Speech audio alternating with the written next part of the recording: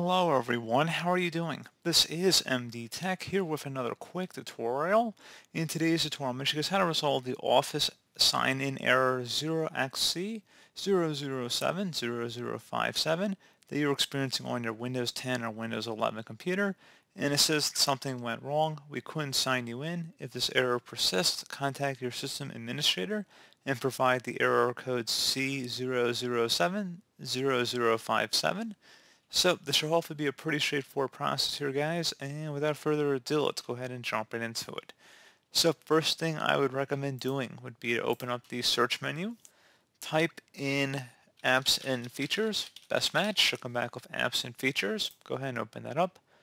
On the right panel in the apps list field search for Office, best match should come back with Microsoft Office, select the three dotted icon next to it and select modify. If you receive a user account control prompt, select yes.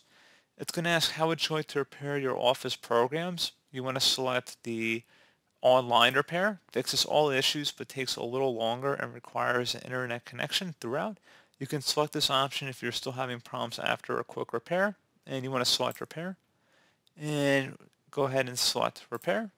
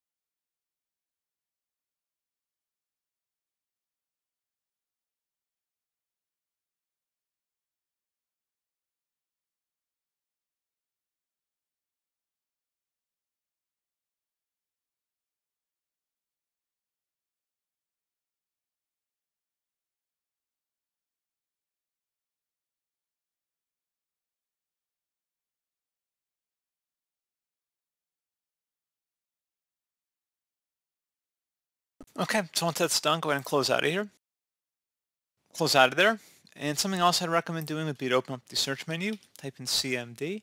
Best match should come back with command prompt. Right click on it and select run as administrator. If you receive a user account control prompt, select yes. And now into this elevated command line window, type in ipconfig space forward slash flush DNS. Flush DNS should all be one word. Hit enter on the keyboard. Back with Windows IP configuration, successfully flushed the DNS resolver cache. Now you want to type in netsh space winsock, W-I-N-S-O-C-K, space reset, again exactly how you see it on my screen. Hit enter on your keyboard. Should go back and successfully reset the WinSock catalog. You must restart the computer in order to complete the reset. Go ahead and close out of here and you want to restart your computer.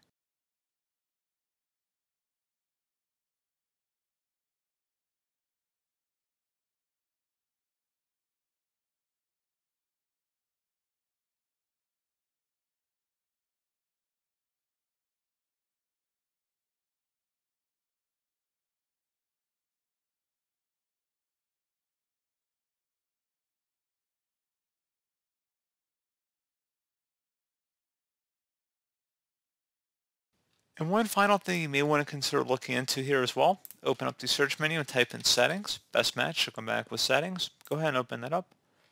Select the accounts option on the left side. And on the right side, go down to access work or school. And if you have to connect to your account, go ahead and select the connect button. That's certainly a possibility that you may have been disconnected at some point. So that's another potential workaround to consider. So pretty straightforward process, guys. I do hope I was able to help you out, and I do look forward to catching you all in the next tutorial. Goodbye.